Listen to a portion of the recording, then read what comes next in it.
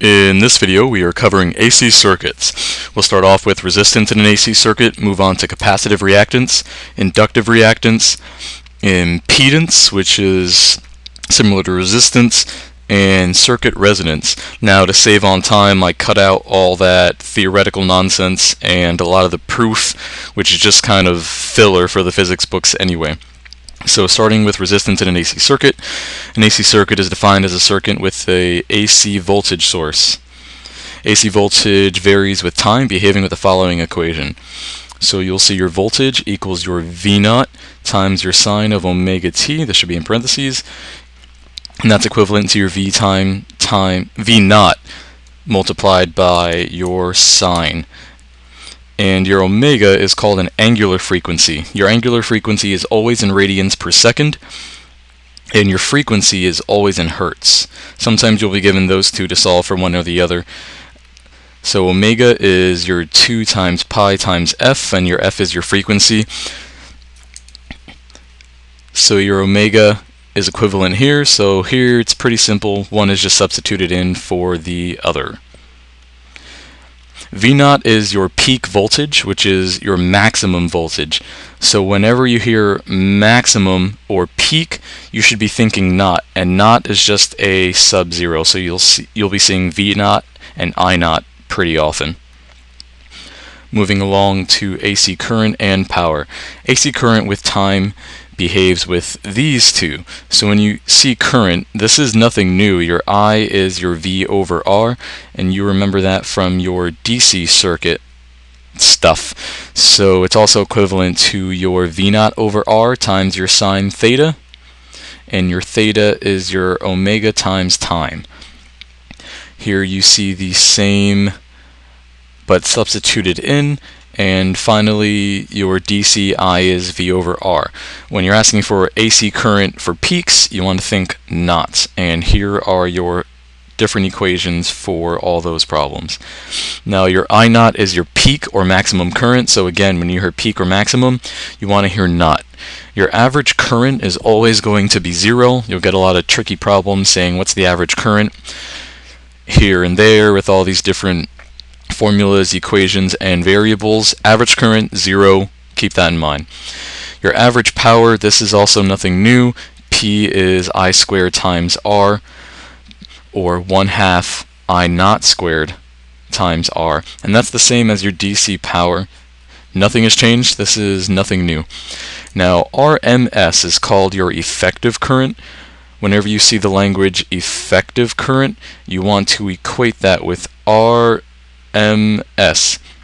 And again, nothing nothing changes with this with any of your other formulas from your DC chapter. So to get the RMS of anything, you just take the peak and divide it by root 2. So whenever you hear effective current, effective voltage, effective anything, you're thinking peak and dividing it by root 2, and that will give you whatever variable it is, but the RMS of that.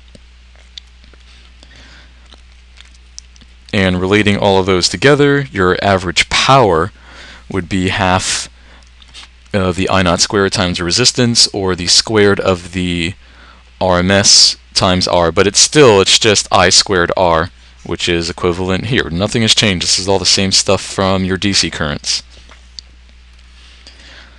AC voltage. Your peak voltage and peak current behave together with these two formulas, V equals IR, well, V naught equals I naught times R, and V RMS equals I RMS times R. What you should come away from that is just keep your naught and your RMSs where they belong when you're getting when you're solving for those two variables.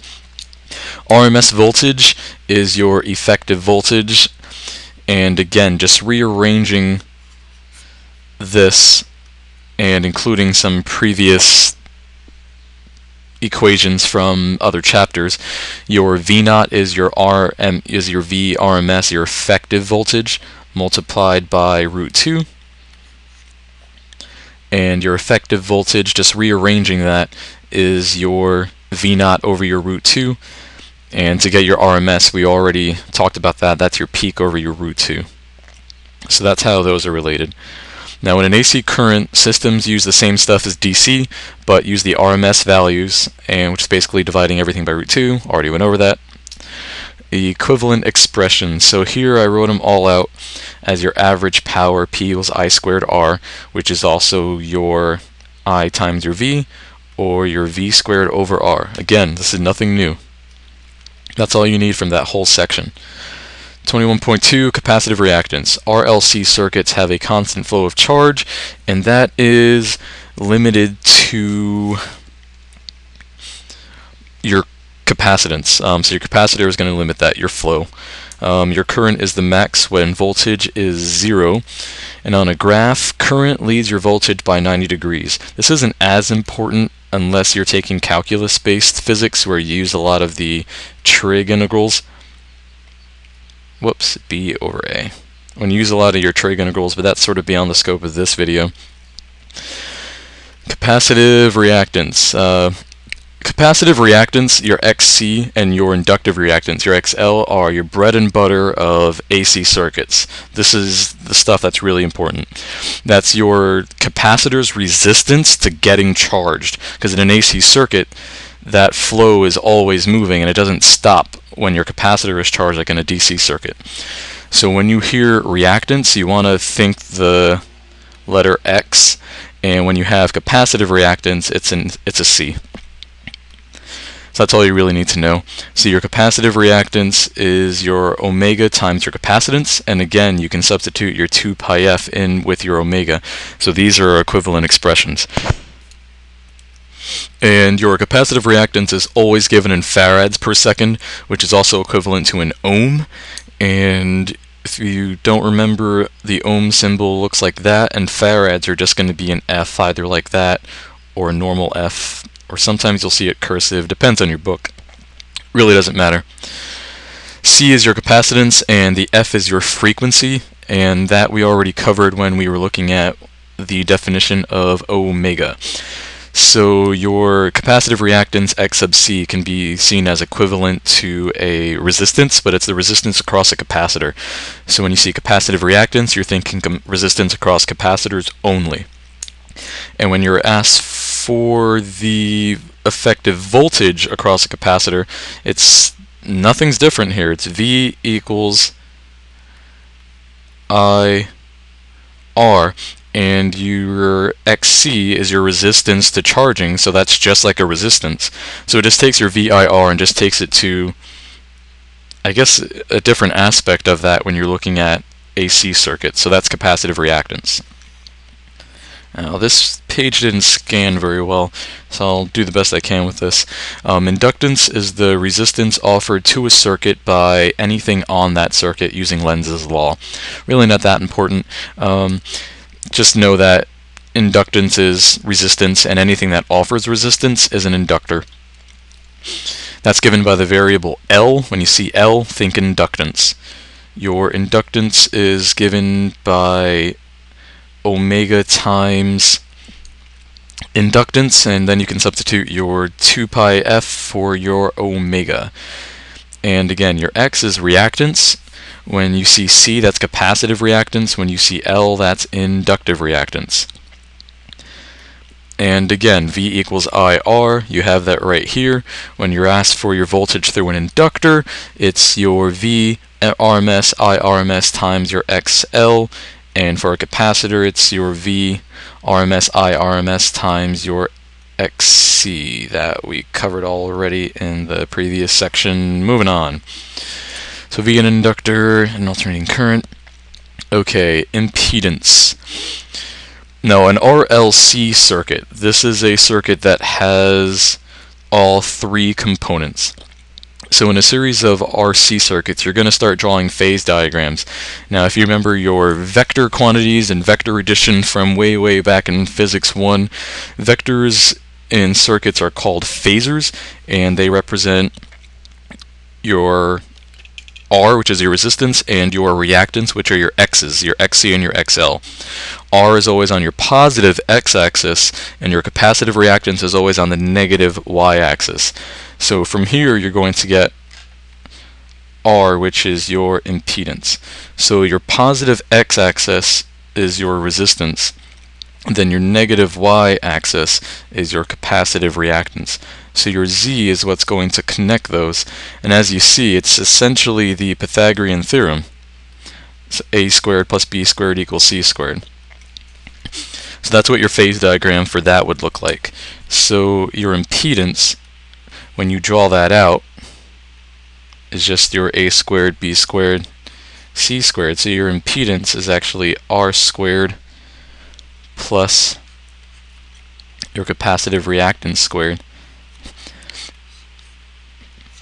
As you saw from your R and capacitive reactance. Real simple trig stuff. If you're taking the calculus-based physics, this might be more intuitive to you. For the rest of us, this is all you really need to know.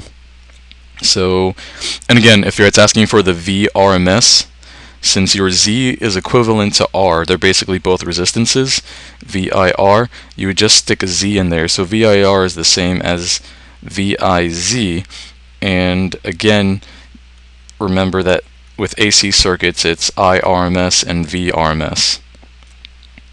Moving right along, if a circuit has RLC components, RLC, resistor, L is inductor, C is capacitor, and here is another way to get it using a more complex phase diagram. So Z is R squared plus the quantity XL minus XC squared. When you write that out a few times and study the phase diagram, when you remember your trig and how this all fits together, it makes sense. It's really not overly important. You might want to just memorize the phase diagram I drew earlier, and this one, though I'm sure your book already has it. Your phase angle is given by tangent phi xl minus xc over r, and that's for an only for an RLC circuit. Sometimes you'll see RL circuits, RC circuits, or any combination of the three using only two, but for RLC circuits, your phase angle, you want to use this equation here. Where'd my pen go? Bong. Your power factor, again, this is nothing new. P equals I times R, only in AC circuits, you're using your RMS values. And now your power factor is your cosine phi, and your cosine, your power factor is, design, is defined as your resistance over your impedance, which is basically R over R. Um, but you want to use your Z value. You'll be given both. I know it sounds a little counterintuitive, but in your problems you'll be given R's and Z's, and this is how you get your power factor. So when you think of power factor, you should be thinking cosine, and when you think of phase angle, you should be thinking tangent. So your VR is equal to your RMS voltage, your effective voltage time cosine theta, and your cosine theta can be replaced by R over Z. And here I have several of these previous equations all written out together with how they relate to each other. If you want to impress your physics teacher, solve some of these for the others. And I mean, it's really nothing different. Your average power is your IV times cosine or your I squared times impedance times cosine theta.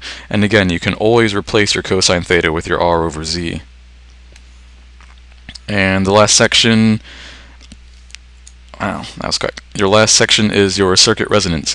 Your resonance frequency F naught. When you think of F of naught, you were thinking peak, but when you're doing frequency, don't think of this as peak. Think of that as resonance. So your resonance frequency F naught. And you get your F naught with this.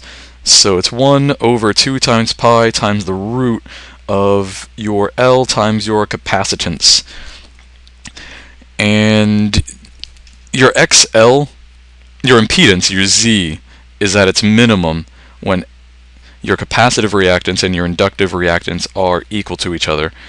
And these are only equal to each other at the resonance frequency. So at this frequency, whatever that is, your XC equals your XL. So if your XC is equal to your XL and you look at your impedance formula, that's how these two are related. So if these two are equivalent, this is going to be, you know, like 1 minus 1 if they if they are 1 just for argument's sake. This would be 0. So then you would have your z is the root of r squared 0, so your z is equal to your r, but only at F naught, which is your resonance frequency. Now that was quick and dirty without any of the theory to save on time. Check out the video on the mastering physics for this chapter where we will do all the problems and I'll also have another video doing problems out of the book. Uh, thanks for watching.